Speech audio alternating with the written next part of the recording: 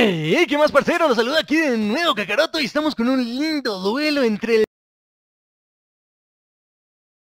campeón de un torneo de Arabia que se haya realizado. Sí, señores, este chino, cuando yo estaba arrancando con mi canal por allá en el, hace como año y medio más o menos, Mr. Joe se coronaba campeón del Arabia Invitational, el último torneo exclusivo de Arabia que se había realizado y lo tenemos de nuevo en el Rey del Desierto que vamos a estar transmitiendo por este canal el día sábado que no te puedes perder por nada del mundo, hay que madrugar un poquito.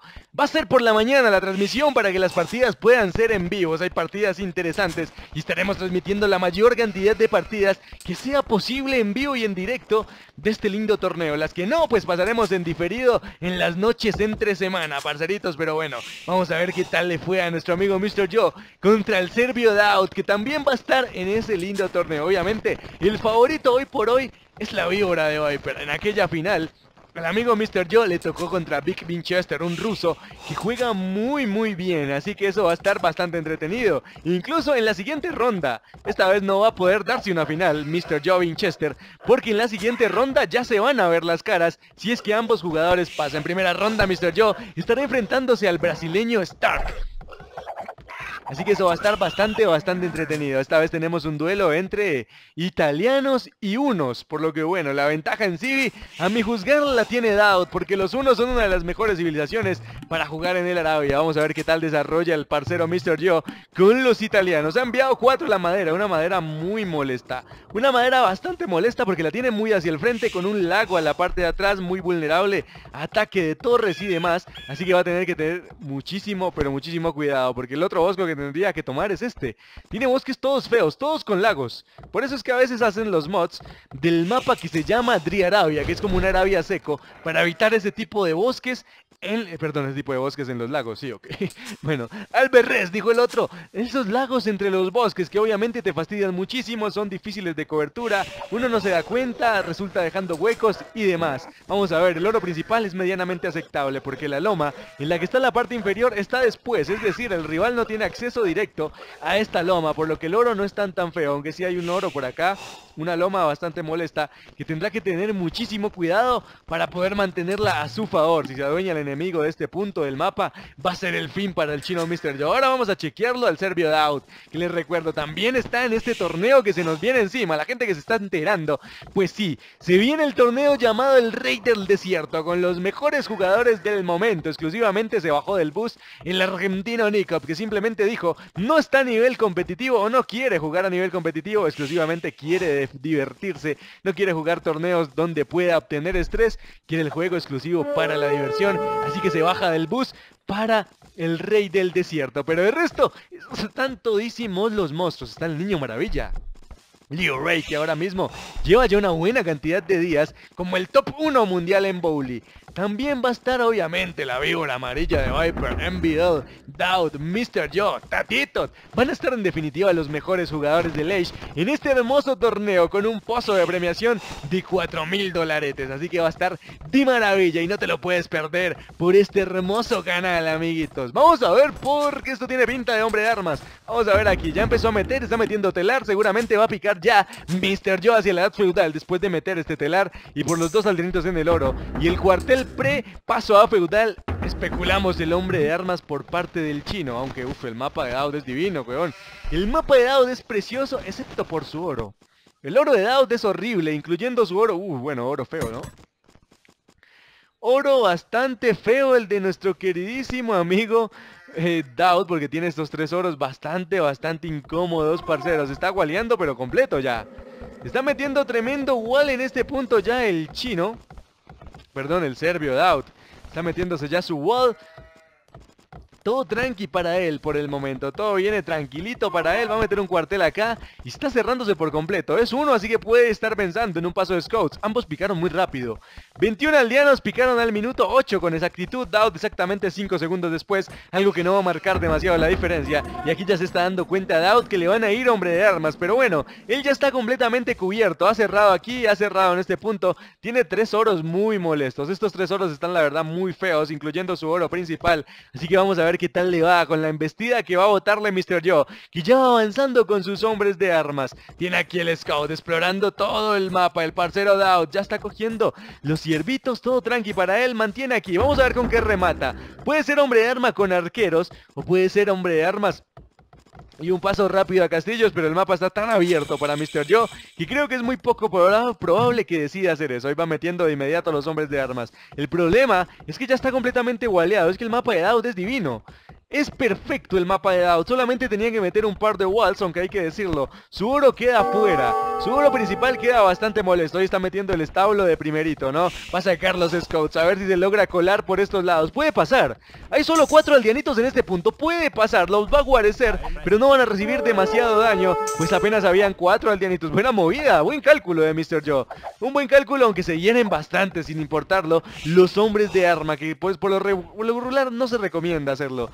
Por lo regular no se recomienda meter en definitiva a los hombres de arma por debajo del centro urbano, pero en un caso extremo como este, que dice someto a los hombres de arma o no le hago absolutamente nada a Doubt, que ya está sacando los scouts, pues lo mejor era arriesgar aquí un poquito y bueno, quedan heridos. Lo bueno es que había un poquitos aldeanos debajo del centro urbano, por lo que le permite ahora a Mr. Joe alcanzar a volverle machete a un par de aldeanitos. No tiene cobertura interna Doubt, así que lo está tomando pues con los galoncillitos abajo. Y bueno, una aldeanita muere ahí.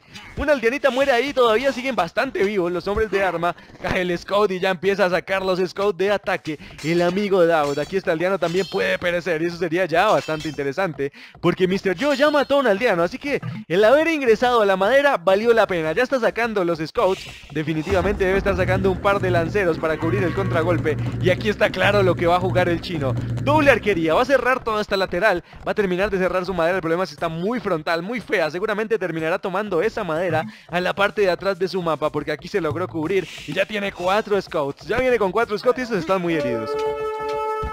Están muy muy heridos, los hombres de arma casi no aguantaron absolutamente nada y ahora se va a venir la contra con Scout, recordemos lo que Out es un 1, vamos a ver cómo lo aplica, ya está empezando a sacar arqueros, va a necesitar lanceros sí o sí, se está tardando el chino, se está tardando un poquito el chino que tiene varios puntos muy vulnerables, incluyendo su madera, incluyendo su oro, los arbustos, todos los puntos están bastante bastante débiles, bastante vulnerables para un raideo de Scouts, a ver si saca pronto los lanceros para su cobertura, por el momento está jugando muy al ras en economía y está prefiriendo sacar arqueros en este punto con los italianos. A ver cómo termina jugando a lo último.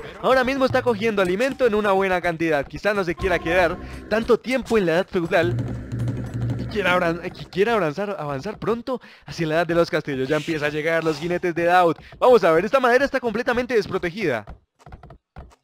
¿Por qué corres, Daud? Vamos a ver, Daud aquí intentando hacer algunos amagues. No tiene lanceros, no los va a sacar o qué carajos el chino. Hace, correr a los scouts exclusivamente con los aldeanos y un par de arqueritos. Vamos a ver porque Daud debería entrar de lleno aquí, aunque hay varios aldeanitos dispuestos a bolearle machete a los scouts. A ver cómo lo toma. Ya está llegando otro scout. Si desarrolla la pureza de sangre. Daud con los unos sería un lío enorme porque, bueno, al fin viene un lancerito. Al fin viene un lancerito que recuérdenlo, los jugadores nuevos. Es una contra por excelencia para el scout porque de dos lanzazos tumbas a este man del caballo y puedes matar demasiado fácil un scout. Ustedes van a ver, ahí corre inmediato. Un solo scout, un solo lancero, perdón, hace correr a cinco scouts. Otra historia sería ya con la pureza de sangre para Dowd, continúa acumulando sus arqueros en este punto. Población de aldeanos igualadísimos. Dowd tiene 31, el chino tiene 30. Están muy igualados y en puntuación está por arriba Dowd, más o menos 200 puntos, pero creo que viene siendo más bien por la gran exploración que tiene Dowd. Sí, tiene un poquito más, eso le suma puntos. Recuerden que Explorar te suma puntos en definitiva. Aquí tuvo que meter una torre para defender este oro, pero en definitiva podría venir Daud. Está jugando con muchísimo respeto. Con mucho respeto juega el serbio porque aquí también pudo haberle hecho una fiesta en el oro y poderlo ponerlo a correr por todas partes. Solo creo que tiene un lancero. Tiene dos lanceros y los ha formado con sus arqueros. Podría jugar más ofensivo si lo quiere Daud. Ahí recibieron lanzazos varios de sus scouts que quedan muy heridos. Ahora viene la pureza de sangre, pero ya tiene bastantes scouts muy heridos. Ya ha metido una arquería. Uh, esto es interesante. Esto para Daud es muy interesante, el hecho de mezclar a sus scouts con pureza de sangre y mezclarlos con guerrilla, esto le va a venir muy mal a Mr. Joe, pues está jugando arqueros y lanceros. Si el chino no se da cuenta pronto, y no lo está haciendo todavía, de las intenciones que ya tiene Daud de venirle mix con guerrilla y sus scouts, pues la puede pasar muy mal, porque ustedes saben que el guerrillero es contra unidad tanto del lancero como del arquero, así que ahora va a depender de una micro de los dos jugadores. Tiene posición alta Mr. Joe y la mantiene por el momento. Tiene que cuidar mucho los, los lanceros. Si estos lanceros mueren en manos de la guerrilla, estos, estos scouts van a darle muy duro. Vamos a ver aquí. Vamos a ver si logra mantener la cobertura. Tiene que sacar más lanceros, sin lugar a dudas, del amigo Mr. Joe. O tiene que mantener muy bien a salvo estos lanceritos, porque de morir ahí va a morir este. Uy, casi, casi, casi, casi. Tiene que sacar los aldeanos. Recuerden que los aldeanitos son buenos para bolearle machete a la guerrilla. Que ya traen el más uno de ataque. Mete carretilla también Doubt. Ya la tiene el chino Mr. Joe, que continúa aquí, aprovechando la posición alta de su madera para mantenerse a la defensiva. Ya viene más guerrilla, ya tiene el doble arquería. Viene con la doble arquería, está cogiendo mucho oro, por lo que lo normal sería que empezara a mixear con arqueros. Ahí está ya el primer arquero para el parcero Daud, si no va a tener un desequilibrio en sus recursos. Pues no está usando todo ese oro el amigo Daud. Sigue sacando arqueros, a ver quién pica primero la edad de los castillos. Uf, miren lo que hace Daud. Miren lo que hace Daud, está metiendo la primera defensa para los Scouts. Ya tienen la pureza de sangre y ahora con la primera defensa que está desarrollando en la herrería, el parcero Daud va a tener una ventaja creo que un poquito amplia. Creo que va a tener una ventaja amplia y vamos a ver cómo resuelve y cómo resulta atacando o más bien jugando. Uh, este lancero murió. Si mueren los dos lanceros va a tener seriosísimos problemas. Hay que tenerlo muy en cuenta. Si muere ese segundo lancero va a tener demasiados líos. Encima refuerza con dos scouts. Esto se pone lindo. Puede ser una batalla definitiva tan solo al minuto 19. Aprovecha la loma. Aprovecha la loma y tiene que sacar el chino de sus aldeanos a bolear machete. La presión la mantiene dado de arriba que ya empieza a mixear con arqueros. Vamos a ver si logra defenderse de este punto. Al menos tiene muchos más arqueros. Y ya tienes más uno de defensa. Al enfrentarse con los Scouts le viene muy bien el cuerpo a cuerpo. Y también pues contra la guerrilla pues no van a ganar mucho. Pero al mantener la loma pueden pegar duro. Y los aldeanos que refuerza atrás Mr. Joe están haciendo que no esté perdiendo la guerra por tanto. Porque estos Scouts son muy fuertes. Con la primera defensa y la pureza de sangre. Es un Scout muy muy muy fuerte parceros. Así que aquí están líos el chino. Aquí están líos el chino. El vigente campeón del último torneo de Arabia. Que lo veremos de nuevo en acción en este torneo que se nos viene, que no te puedes perder por este hermoso canal. Suscríbete al canal si eres nuevo y deja tu pulgar arriba como siempre en cada video. Deja tu cajita de comentarios. ¿Quién crees que va a ganar el torneo? El rey del desierto. No se vale decir de Viper. A ver cómo estamos, porque si no todo el mundo escriba la víbora. Sin la víbora, ¿quién es tu segunda opción para ganar el torneo El Rey del Desierto? Va a estar interesante la votación porque hay muchos jugadores de segundas. Seguramente para muchos el favorito es la víbora amarilla de Viper, así como lo es para mí, se los confieso. Mi favorito para el torneo es de Viper, pero si no es de Viper, si de Viper selecciona la muñeca, se lesiona, perdón, la muñeca en estos días. ¿Quién creen que ganaría el torneo del Rey del Desierto? ¿Quién es su segunda opción? Coméntalo ahí en la cajita de comentarios, parceros. Vamos a ver porque aquí se le está complicando mucho. Mete una torre. Está metiendo, uff, esta cantidad de aldeanos que vamos a ver las perspectivas desde Daud. Uy, le va a clavar una torre en la madera. Y es que esta madera era horrible. Vamos a ver si lo permite Daud, lo permite Mr. Joe. Que sigue una gran cantidad de arqueros. Pero estos scouts siguen siendo muy fuertes. El chino, sin lugar a dudas, está pasando primero la edad de los castillos. Tiene que liquidar a sus aldeanos. Ay, ay, ay, va a subir la torre. No va a subir. Esta torre no le puede defender la madera. Va a tener que tomar una madera en otro lugar. Es que el mapa de Mr. Joe, hay que decirlo, tenía mucha ventaja Daud. Mucha ventaja y más al mantenerlo al frente. Porque miren cómo recupera ese oro. El oro era horrible. Pero al meter los edificios militares alrededor de su oro principal, ya lo hace un fortín. De esa manera no le va a quedar nada fácil al chino presionarle ese oro. Y ahora mismo esta cantidad de es demasiado importante. En este oro también podría hacer venir podrían venir a hacer un fiesto, no, no, ni eso lo sabe Daud por acá, le clavan la torre, tiene que sacar corriendo los aldeanos en problemas del chino, está a 400 puntos por abajo, la presión por Daud continúa, pero la ventaja en tiempo que va a llegar, el chino primero a la edad de los castillos es amplia, toca ver el resultado, el, el desarrollo de esta tremenda partida, a ver si pueden morir los scouts, varios aldeanos van a morir, varios aldeanitos van a morir, está 7 aldeanos por encima, pero recordemos que la transición hacia la edad de los castillos te quita 5 aldeanos, o más o menos, dejas de sacar 5 aldeanos en ese tiempo de transición, ahí pierden varios scouts, pierde varios scouts y tiene que venir a tomar esta madera, pero Dowd ya se está dando cuenta, le está clavando torres fastidiosísimas, le está bloqueando sus maderas, aprovechando el punto débil del mapa del chino, que eran sus maderas, ha venido a clavarle torres con varias cantidad de aldeanos, son 5 los aldeanos, así que en economía están muy igualados, buena respuesta del chino,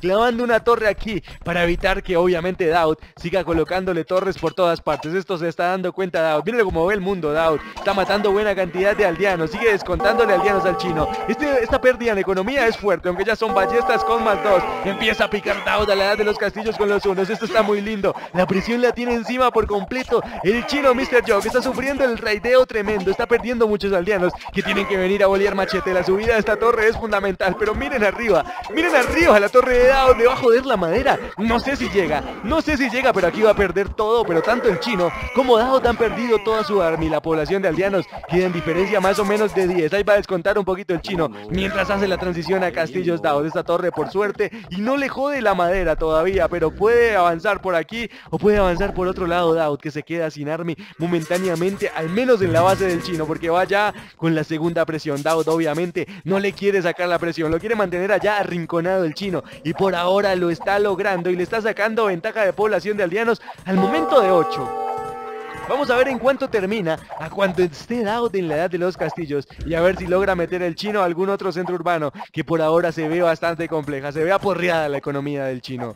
Se ve muy aporreada la economía del chino, mucho más tranquila. Obviamente la ciudad de Dowd que desde el principio no ha sufrido ningún tipo de raideo. Dowd es el que ha mantenido la presión arriba, ha estado con todos los juguetes y ahora monasterio para el chino. Creo que sospecha que con los unos le pueden querer rematar con jinetes, pero vamos a ver cómo la juega Dowd, que por ahora Sí, señores, ya metió el doble establo, no tiene más arquerías, por lo que la está leyendo bien el chino, metiendo el monasterio, esperando a los monjes. Y aquí, a ver si aprovecha esta loma, lo decíamos. Esta loma la tiene que dominar el chino o se convierte en un lugar muy fastidioso. Y por ahí va a seguir atacándolo Daud sin lugar a dudas, aprovechando siempre que él tiene acceso directo a la parte alta de este territorio, por lo que aprovecha de lleno el bonus que da la parte alta de un terreno, parceros. Así que bueno, vamos a ver cómo se desarrolla. Ahí está, la segunda defensa, igual es que se podía leer por parte del, chino Mr. Joe. Si ya tenía la pureza de sangre, ya tenía la primera defensa, ¿qué va a seguir jugando? Pues jinetes. Y efectivamente lo hace Dowd, mete la segunda defensa de sus jinetes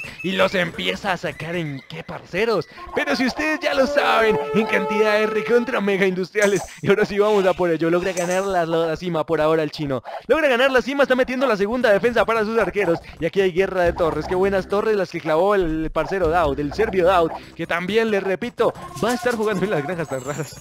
Deja las granjas más lejanas y deletearon ya todo el resto de granjas. ¿Por qué juega así Daud? ¿Por qué tiene tan poquitas granjas? Va a jugar full arqueros.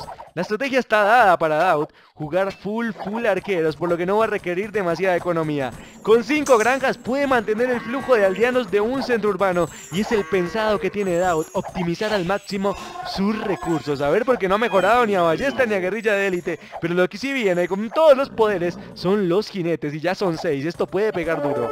Estos jinetes pueden pegarle bastante duro. Vamos a ver cómo se comportan aquí. Tiene que aguantar el chino. Empieza a sacar monjes. Va a montarle la presión. Esta loma, lo habíamos dicho, es fundamental. Aprender a manejar el terreno. Y en el Issue of Empires es algo que te hará subir mucho de nivel. Y este nivel élite, recontra mega pro, lo tienen clarísimo. Y está tomando a favor esta loma. Y ahí se mantiene arriba. Por lo que no lo puedes pulsar del todo, Mr. Joe. Igual tiene que tener muchísimo cuidado con el micromanejo de sus unidades.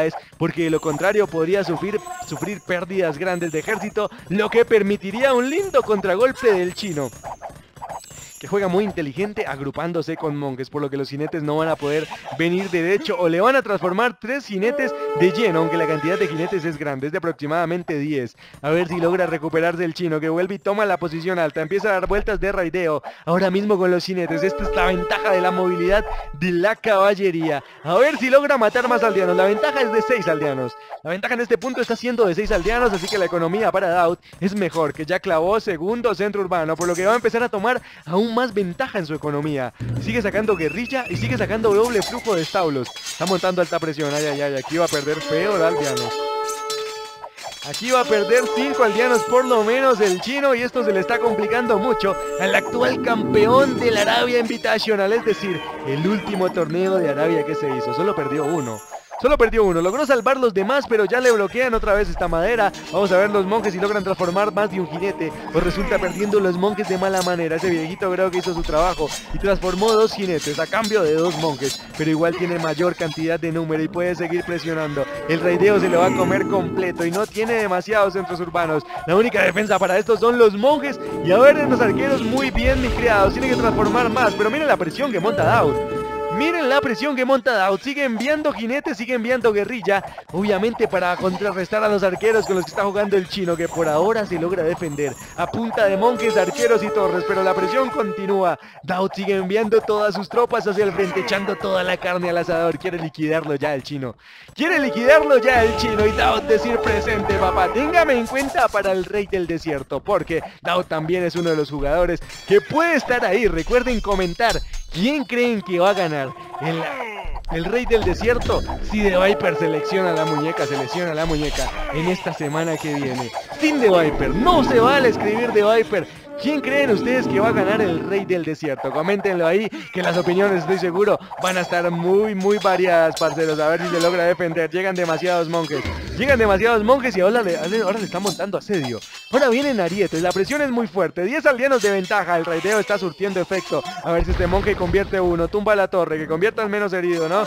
Que convierta al menos herido y seguramente sí lo hace. Tiene que convertir a este. Para que este le dé chumbimba a este, buena movida. Este le va a poder dar chumbimba facilito a este que está muy herido, pero mata al viejito, no mata al viejito. Mata al viejito, no, no lo creo. Vamos a ver porque logrará llegar. Se atraviesan algunos aldeanos y bueno, usted se salvó, papá. Usted va a vivir un poquitico más. Aquí está acumulando, miren esto.